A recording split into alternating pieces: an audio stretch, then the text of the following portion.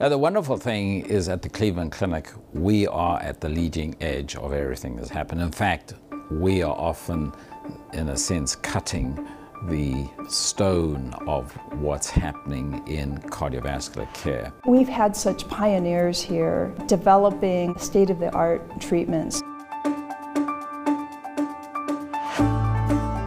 We still remain pioneers in taking care of some of the most difficult vascular problems and offering solutions that other places can't. Dr. Mason Sones revolutionized the way we treat heart attacks, how we do bypass surgery, how we put stents. The people before us laid the groundwork for what we do now. We've started the coronary artery bypass surgery here, as well as cardiac catheterization. We are very much focused on treating the whole patient.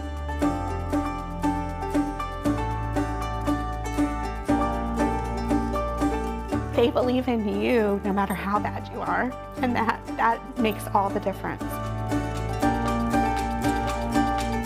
They're always looking at their data to understand how to use that data to further innovate or drive better outcomes for the patients. Pioneering minimally invasive heart surgery made the surgery much more comforting to patients, and it also means a quicker recovery. These are patients very often who do not have a safe option for aortic valve replacement, and these patients have gone home within a day. It's truly revolutionary.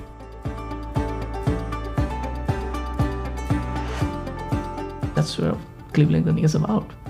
They don't worry about problems, they think of solutions. It's not just about the technical capability, it's about the human kindness, the love. And I just hope that this best practice in the Cleveland Clinic could be disseminated all over the world.